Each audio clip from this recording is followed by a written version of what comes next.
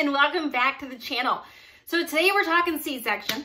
Today we're talking C-section recovery. So lots of times on the channel, you know, we're talking about weight loss, how to lose weight.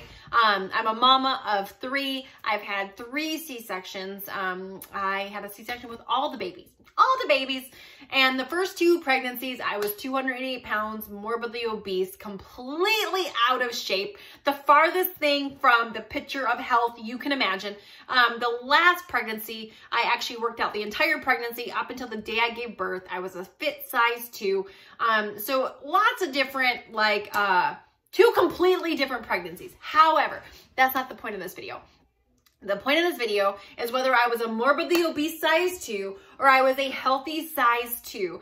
I recovered really, really well. I bounced back really, really well um, from all three C-sections. Whether I was the morbidly obese, overweight C-section that I had with the first two babies or the healthy size 2 that I had with uh, the last baby. And I will link down below. There definitely were some differences. And in the description box, I will link where I talk about the difference between those two pregnancies. The pregnancies as, as a morbidly obese woman and then the pregnancies as a fit woman. Um, like I said, I'll link that in the description box if you, if you want to watch that. But I just have a couple tips that I want to give you because lots of people, um, I've seen so many friends and family that have C-sections. I know there, I know it's much, it's, it's very common today to have a C-section, whether you just elect to have it, like, hey, I don't want to push the kid out, cut it out, or whether there's a complication or whatever it is. Um, you know, and there are more C-sections, but we also live in a world where, you know, like 70% of the world struggles with their weight. And one of the biggest contributing factors to your body failing to progress in birth. Of course, there's other reasons too, but weight, extra weight on you is a really big contributing factor to C-sections. Um, it's just the truth of the matter. So anyway, uh, yeah, so I'm to give you my best tips to recovering from the C-section. Now, the first two, let me just say, are to sound a little like Jekyll and Hyde. Like, it's to sound like I'm saying this, but yet I'm saying this. Okay, so just bear with me for just a second. Before we do that, wait, wait, time out. If you have not hit the subscribe button yet, make sure to do that. We do upload four times a week here on the channel, Monday, Tuesday, Wednesday, and Friday. So hit the subscribe button, ring the notification bell, and uh, give the video uh, smash the like, the like, the like, like button. I, I'm not a great singer. But anyway, all right, so number one, number one, make sure you give your body rest.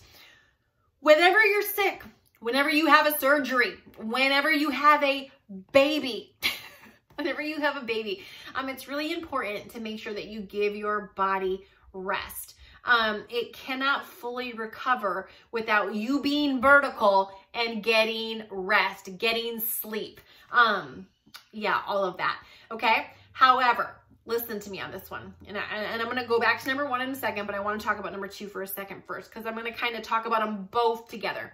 Number two is get moving, like get moving. So every, everything in extremes is not good. So when I say give your body rest, Yes, your body just went through a C-section. Yes, your body just went through like getting cut open, going through birth, whether you had a planned C-section or whether you labored and then the baby didn't come out and then you had a C-section. Those are the worst. Ugh.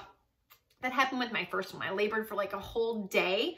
And then when he failed to progress, I was like dilated to a nine, fully effaced. He wasn't dropping into the birth canal. So I had like been having the contractions and, you know, so you're exhausted. Your body's like, at that point, you're like, whatever, cut the kid out. but like, so it's important for your body to have rest. But listen, anything in excess is not good. So there is such a thing as too much rest because your body also needs to move. Your body also, movement actually helps it. So I've met a lot of moms that were like, you know, their recovery plan for a C-section was just lay around and not do anything. And I don't think that is healthy to build your strength, to build your stamina. I believe you got to get moving. If you just lay there, um, again, it's a balance. So for me, what I did is I definitely had times where I laid and I napped and I slept. But then I also had times where I would get up and walk around the house. Slowly, I would get up and I would go, you know, up and down the stairs, one foot, the other foot, one foot, the other foot, slowly, but yet I was moving, even in the hospital. You know, I, after the first baby, I kind of knew the drill. So I knew that I had to get up after the C-section, you know, you're laying in bed, they have the catheter in, which is awesome because you can drink all the water you want, but the, it's going in the tube. But after they pull the catheter out, you have to get up two times assisted, which means they have to help you go pee before you can get up on your own. And you have to have gotten up assisted and then unassisted before they'll let you go home. And so like, I was like, okay, I got this down. And I'm not really a hospital girl. Like I'm like, get me home, get me in my own bed.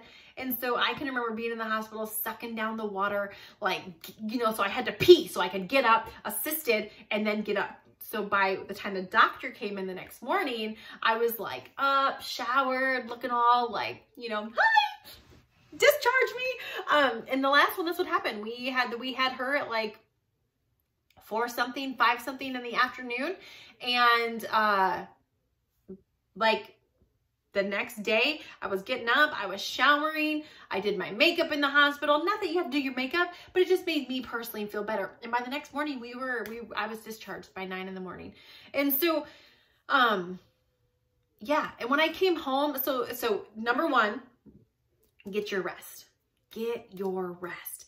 Number two, Make sure you're still moving. Don't just lay there. Slowly moving, but make sure you're moving. It's really crucial for those couple days to slowly make a lap around your house walk up and down, you know, do some activity. Don't just lay. All right. Number three is make sure you have somebody scheduled to help you. Um, if you have other kids, you can't lift them. You're restricted on what you can lift.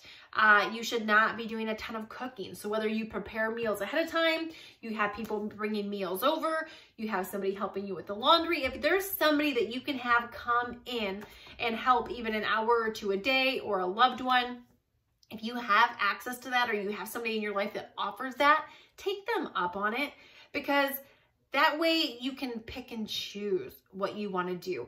And that way you can be wise with what you're doing. And I was, you know, um, I have a girlfriend and my mom and I had people out after all three births. And I believe that it really helped because I was able to get rest, but I was still able to get up. And, you know, my one girlfriend, I would be like wiping the countertops down and she's like, what are you doing? Sit down. And I was like, but like, I'm okay. I'm not cleaning. I'm not using the broom. I'm not like vacuuming, but like I can wipe the counter. Like, let me do something. Um, let me do something. And so, eh, but keep track of it. Okay, this is where I told you I'm going to sound a little bit like Jekyll and Hyde because you can't overdo it you can overdo it. Um, and the, the, the fourth and final thing is for me with recovery from C-sections is use your pain meds. Like use your pain meds.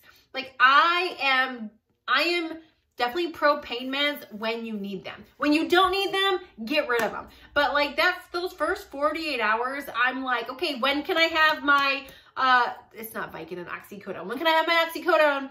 When can I have my uh, ibuprofen? Because the worst thing to happen is so many times, like we're on it and then we get behind on the pain and then it breaks through and then we're like, Wah! don't do that. Um, make sure to stay on top of it if, if you can. Um, and it doesn't make you a lesser person because you're using pain meds. And for me, the first 48, 36, 48, 72 hours, I I'd use my oxycodone and my um my is it ibuprofen 800 they give you? Yeah, I think those are the two things they prescribe to you in the hospital. Um, I used both of them. And then once I got home, I kind of used the oxycodone as needed. So I just switched over the Tylenol for the next couple days once I got home after the first 48 to 72 hours. And in both, in all three cases, I had a ton of that oxycodone stuff left that we ended up just flushing down the toilet because I just didn't use it all. It was nice to have it in case I needed it. Um, yeah, so don't be afraid to use your pain pills. I've met so many people that were like, I don't know, I don't really want to take that stuff. And I'm like, honey, like your body was just cut the frick open. Like it doesn't just stop hurting.